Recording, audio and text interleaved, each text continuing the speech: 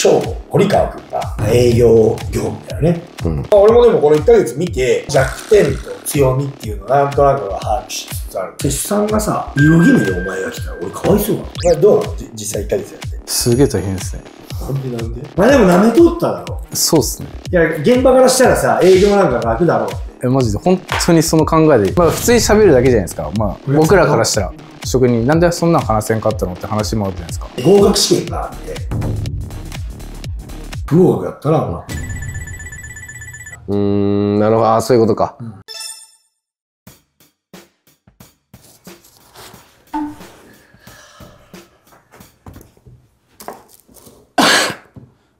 堀川。ホリックホリデーの始まるよ。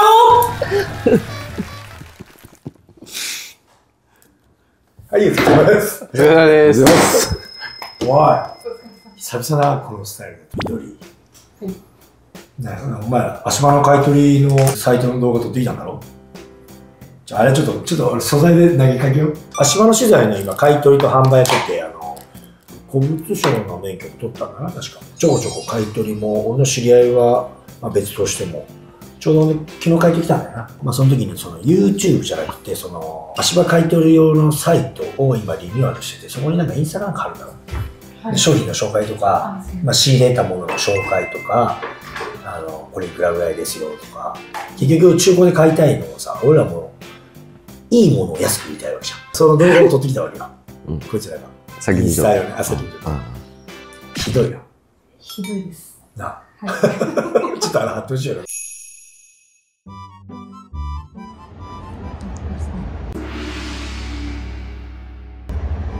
取扱資材は何ですか？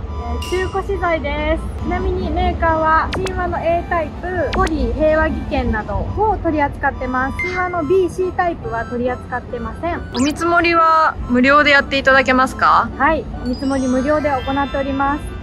写真、数量をいただければ、すぐに即日でもお見積もりをお出しできますので、概算のお見積もりにはなってしまい、うん、ちょっともう一回いいかな。はい。すいません。なんだっけ？何でしたっけ？えーっと、一旦適当に喋るか。うんうん。そうしよう。買い取りね。うんうん。えーっとね。それ、それセットしだすと、もう喋れなくなっちゃう。なんて言っとったっけ？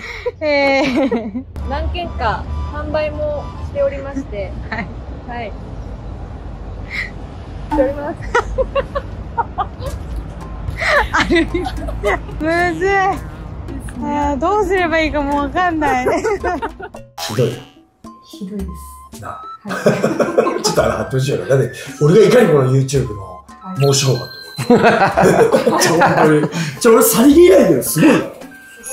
マジで、はい、めちゃくちゃ頭回してるからな、今日はさ何を話したいかっていうのはさ翔堀川君がねあの結局足場班の責任者の、ね、次のステップってやっぱそのきっちりオーナーみたいな感じでやってほしい河合君とかにも俺みんなに言っとったけどそいつらがみんなその部門採算みたいな感じで責任取って、うん、でまあ会長じゃないけどもう俺も年だもんね。もうもう50だもんね。だからなっていけばいいなっていうところで、まあ、まだまだじゃん。俺っちゃけ。ど、うん、でまあ営業業務だよね、うんなので、ホワイトカラーを経験したわけよ。うん。な？で、やって、どれぐらい ?1 ヶ月は経ってないですけど、たたんぐらいですね、でも。1ヶ月前か、じゃあ。はい、はい。じゃあ、1ヶ月前が、堀川ホリックホリック。堀川ホリックホリ1ヶ月前俺もホリックホリ1ヶ月前これできないと、YouTube やね あできるよ、そんなこと。まあまあ、でも今日ちょっと本当真面目な話なんですけど、お前から見てさ、こいつって何が足りないとかさ、まあ今後成長、まあ俺もでもこの1ヶ月見て、まあこいつの弱点と強みっていうのをなんとなく把握しつつあるんだけど、まあ結構厳しいよな。はい。毎日見るから。うん。もう本当に一個一個、今日なんか郵便局員じゃなくて、大和郵便大和郵便に、まあ打ち合わせしとったけど、俺絶対挨拶するじゃん。はい。しかも会社より絶対でかいから何がとてもいいだろう。こんにちはって。誰が見ても絶対大きい声出すんですよ。俺それ一番大事だと思う。俺来ても挨拶してもらえなかったよ。お前は別に。あ、そうか。いや、お疲れとか言うだろ。いや、言わなかったけど。言っとるって。いや、で、こいつ打ち合わせしとったの。うんでもすぐそこじゃ見えるわけうん。じゃん。うんうんうん。なんか、いや、打ち合わせしようくらいさしませんでした。え、何やってんのこの野郎とか言って。あ、そうなんだ、島のしょぼいんだ。ってぶち切れられて。だから、はいだからなんか、まあまあ、まあ、まずその、仕事できるできるまあ本当に、まあさっき違う国も話したけど、仕事って単純なことの集まりじゃん。んそんな難しいことないじゃん。あとはもう経験によるその、スピードだよね。うん何十年、まあ、職人の世界はあるけどさ、奥。まあ、どう実際1ヶ月やって。あその営業管理のことですよねすげえ大変ですねなんでなんで。いやなんか。お前アピんなよ、てめえ、こんな野郎。あ見てないです。あ見てないですてめえ、てめえ、こんな。何何、何が大変まあでも舐めとっただろ。そうっすね。いや、現場からしたらさ、営業なんか楽だろ。う。えマジで本当にその考えで。まあ言い方悪いけど、まあ、じゃあお前らは営業から仕事もらって請負いだから、そうですね。民間の仕はい。事が外の方がいいとか悪いとかあるけど、結構、ね、自社の仕事ってそのから書類とか全部用意されてるわけじゃん。はい打ち合わせは審理いいわけじゃん。そうで、何何が大変？なんか今までその営業に対して例えば敷地幅であったり腕組むな、お前、管理職が、これ。職人ちゃうぞ、お前。はい で敷地幅であったりまあ普通に喋るだけじゃないですかまあ僕らからしたら職人なんでそんなん話せんかったのって話もあるじゃないですかおお。何何？ちょっと、お前、お前全然説明悪いよ。分かっ俺分かった。いや、だから、その、営業に行ったら、その足場からしたら、なんでそこまで煮詰めて話持ってこんのだって思ってたけど、自分がいざ行ったら、その煮詰める話も難しいって言いたいわけでしょ？あそうですそうあ、おです。なんか客さんと、あ、そんなのちゃんと駐車場使えるの聞いとけよとか。そうですそうですね。そうそう。車が止まってそうそうそうそうそう。じゃあ、こんにちは。おいじゃあ、お願いします。お願いします。待ってあのあのちょ今こんにちは。こんにちはで。こんにちはで飛んでっちゃった。んなんかです4巻みたいなな、1個出たら、すげえこんにちはで飛んでっちゃった。だね、まあ、舐めてかかっとったなっていうのはですね。あ営業しっかりして。なんでこんなこともじゃん。それってなんか結構難しいって言ったら難しい。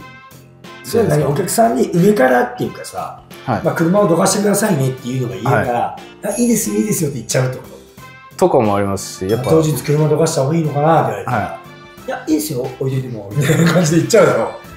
俺もそうです。最初の頃そう。だったはい、それもある難しなんか言い方に対して、ま、なんて言ったらいいんだろうと思っちゃうんですなんかそのどういうこと？なんてなそんなこと違う言うの？違う違う違う違うなんて言うんですそれとはお前だけの悩みだろそれ。そうだね。かいや違う。それだってそれで言ったら。あそれは間違いですそれはじゃあだってお前はそれを経験したわけじゃん。その職人側を。はい。だからお前のが喋れて俺は当然だと思うんだけど逆、にお前がそこそうそう、当然だと思うんだけど、でもそこでお前が、その何、そういうの難しいですって今話なわけじゃん。だはい。からそれはお前の問題じゃん、その、今カッチャが言ったみたいに。そうっすね。お前が言いづらいとか、難しいの何が難しいんだよ気にならん、うん気になる。難しい。あまあ、気になる。俺。職人経験で今現場からほとんど営業やってないから。まあ、色でもそうですねでもあと。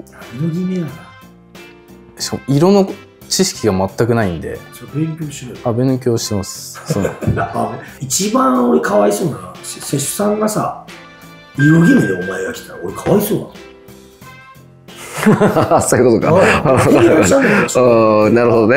お客さんがこの色かこの色かうん。悩んでんだよねっていうのに答えれないとうん、聞きに行くだけだったうん。ら俺よく言うじゃん。うん。LINE でもいいやうん。社員にいつも言ってるけどお前らさいや難しいですと。言ってるのこいつ。うん。そんな当たり前だようん。だったら金払わんでいいだろただだぞだって勉強してるし逆に。そうです。ねはい。仕事って現場もそうじゃない、はい。段取り切るわけだから、はい。で俺はこいつに言っとんだ今日も言ったけど同じこと。お前普通の一般職のお前倍もらっとんだぞって。うん。まあそうだね。いやだからだからそのね管理職なんだからそ俺は逆に仕事なんかできるにいいと思ってる、うん。色決めなんか別に、うん。うん。ただそういう力がいるわけはい。そのお前が経営者として動くんだったら俺だったらそうじゃん大工交渉わけわからん仕事があるとするじゃん、お前ら鉄骨の仕事があるとするじゃん、ちょっと、まあ、その時間混んでいいけど打ち合わせあるもんでお前ちょっと電話だけ出れるようにしとくねとか、うん。ああはい。オンラインで参加してくれとか、そうやって上手に段取りしていくわけじうん。ゃん。より良いものを提供してからなんからさ、はい。そういうふうになればいいんじゃないのと。はい。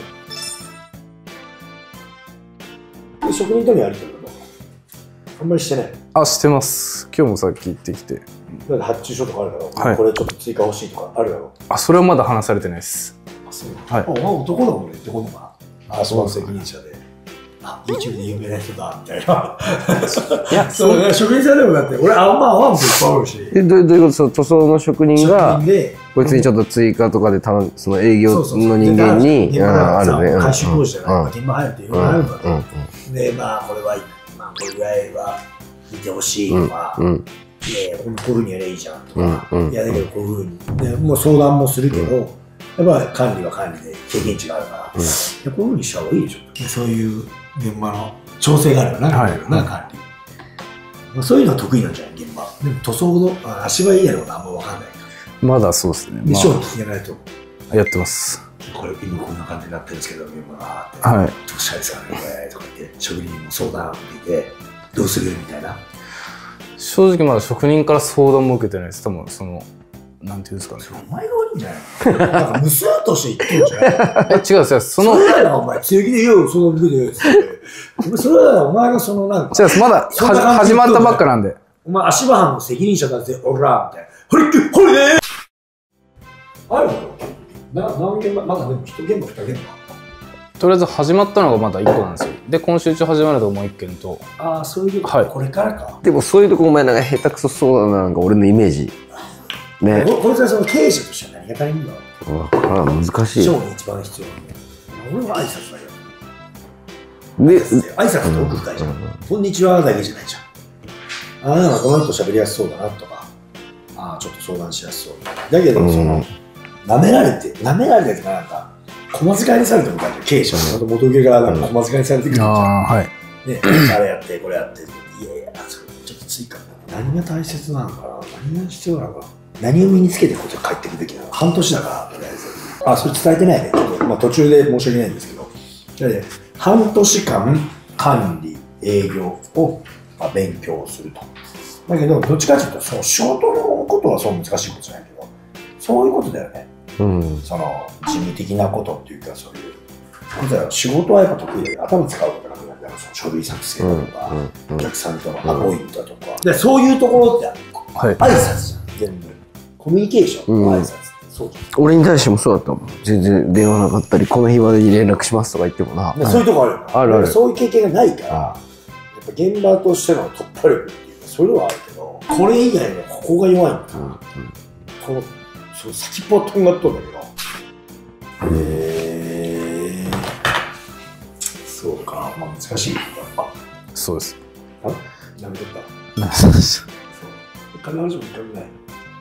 あその職人とってことですよね。お客さんとは？お客さんともまだそのお追加だとかさ見積もりしとったけどこれちょっとやっぱ難しいとか。そういうのあんまないから、そうですね。まあ、ちょっとこれやれんなとか。はい下地が違うとかさ。うん。土地の職に入ってもらったらうん。見積もり出した下地じゃないやつかうん。じゃあした方がいいんじゃないかみたいな、うん。うん。それって微妙じゃん、うん。もうなんか見積もりで出したやつを使いたいよね、うん見積もりはうん。でも言わんのもいかんじゃん。うん。なんか俺は言った方がいいと思うから言うんだけど、昨日もそれ、まあ向こうで話したけど、うん。それをなんか言われた通りじゃなくて、お客さんこれ店員しやいいじゃん。うんですか、うみたいな。んうんいや、それ別にもう教えといてくださいって、まあ、金額だけ一回出しましょうかなとかさ、あるじゃん。全部コミュニケーションだはい気になるわお前がお客さんと喋ってることがどんな感じで対応しとるのかめっちゃ気になから。るまあ、上手にやってるまあ、どうなんだろうな。あ、はいええのかな。外し持つか持たないちなみに、寺道は持たなくて飛んだよ。え寺道じゃない寺道は、その時 YouTube まだやってなかったっけ？やってないですね。やってないです。トビア取って、半年間営業じゃなくて、まあ営業一回やってみて、そうです。やったんだよな。はい。1年ぐらいだったと思います。1年ぐらいで1飛んだ。年はい。あいつ飛んだんだっけ？飛んだっていうか、なんか本当になんかわけわからんこと言って、なんかずっとまっすぐ走ってたら大阪まで行っちゃったと。そんな感じですからそうそうそうそう。わけわかだからもう本当に頭がもうパニクったの。見積もりとかんもやったり、いろんなことが頭入ってくるじゃん。うんだから本当メモとか使ってなくて、うん手帳とか使ってなんてやれんわけよ、仕事なんか。いや、また全然違うだろ。使う筋肉っていうか、そう頭の筋肉はい使うじゃん。はいうんだからまあ、いい経験にはなると思うよはい経営者って両方やるじゃん。うんコミュニケーションいるじゃん。うん。お客さんと喋ったり、うん飲みに行ったりとか。それで言ったら俺もできとんのかないや、お前結構いい加減だよ。いい加減でしょうんあんまりいい評判聞かあ、そう。そんなことないん。いや、そうそう。昔なんか言ったじゃん。健太にも迷惑いや俺そういうのもやだから俺全部自分でやっとったけど最初奇跡書全部筆でやったようん、うん書いとったね。書いとった、書いとった。覚えてるわ。書いとったわ。俺なんか俺1年ぐらい全部筆で書いて書いとった、書いとった。封筒に封筒だけは全部俺自分で書いて筆でめっちゃ綺麗な達筆な字で書いとったわ。でなんかまあ愛情を込めてじゃないけどあました。それこそ挨拶じゃん。感謝の気持ちじゃないけどさお金もらうからさ人から人から金なんかもらった方が奪ってもまあ給料とかもらったことあるけど、ね、お金もらうと儲け儲けさせてもらうわけじゃん。ちゃんとね、うん。従業員の花半分だけもらってるわけじゃうん、ないから、うん、うん。でそうだね。まあ、感謝だけどね、うん儲けさせてもらうんだからちゃんとね、うん、うん。そう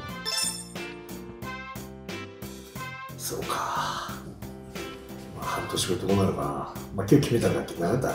で、合格試験があって、合格試験は、もうとにかく見積もり3本、うん、一人で行って、うん。契約を2本。半年で？安いノルマだね。なんで、その、まあまあ、まあそうかだって半年あるんでしょ？いや、じゃあその、まあ、最後の1ヶ月かな、なんか、見積もり基本やらしてもらえるかああ、そういうこら、うん。だからもうほぼほぼ最初の見積もりみたいになるよね。と。うん、そういうことね。だけど、まあ、見積もりなんかだって、俺らは別に、教えてもらってないじゃないって言うけど、はい。みんな。うん。で、井村翔とかみんなが行ってこいと言われ出したから、しかもついてったこともないんじゃないでしょうなんか。ついてくるようなことじゃないの聞いてやってこいって言われちゃう。で、コミュニケーション取るだけじゃん。はい。なんか変に仕事だからって、なんかみんなこう、ね、なんか、あの横浜のバカもするじゃん。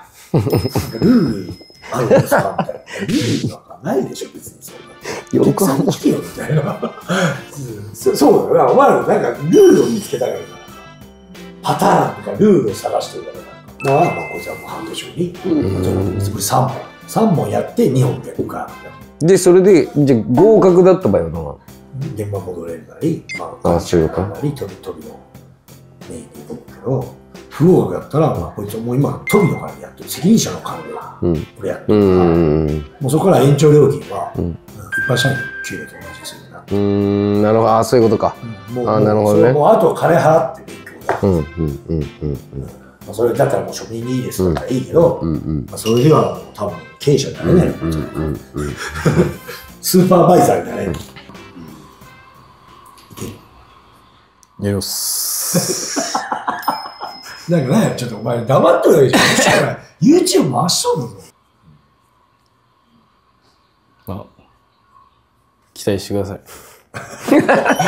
ちょっと期待してくれその半年後もこんな感じで喋られるから、そもそもがわからんでね。半年後の多分テンションも違うです。そうだ。その仕事をしとる面白い、面白い。それなるほどな面白いね。はい面白いね、それはめっ。ちゃ喋れるんだ。はい。多分。今、だから今、これは初期動画だから今こんな感じだけどジ。ャカジャカジャカ。ジャーとか言って半年後楽しみだな。で、この動画とね、はい。1ヶ月、その半年前の動画とこれやったらね、だけど本当に忘れる。あの俺は損してやらせてもらうんだよね。はい。うんあのだからそこがやっぱあれば絶対お前は成長するじゃん。どちらか真面目だから、い貢献しようとか、やっぱその分を回収してこんと。免許行っても何行ってもそうじゃん。iPad 買っても10万円だったら安いなとか、これだけのものが手に入るなってあるわけじゃん。でも俺はそれだけの価値があるともう半年後のお前がやめ ただの妄想だお間違いない。お間違いない。はい。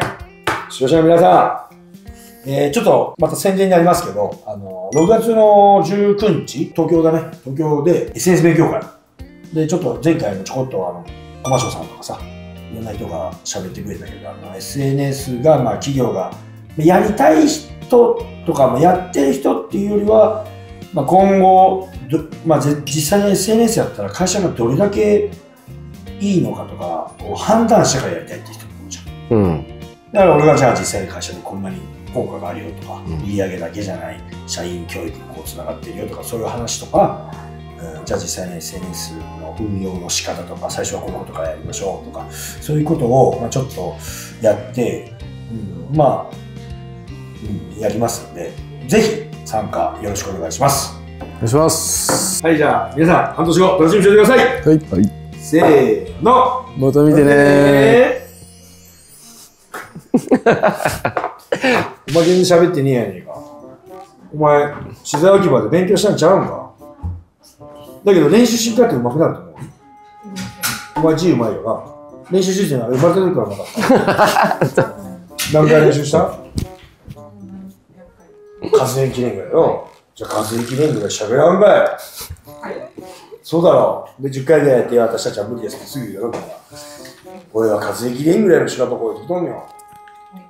でここに来てんのよ。ここに立ってんのよ、私。は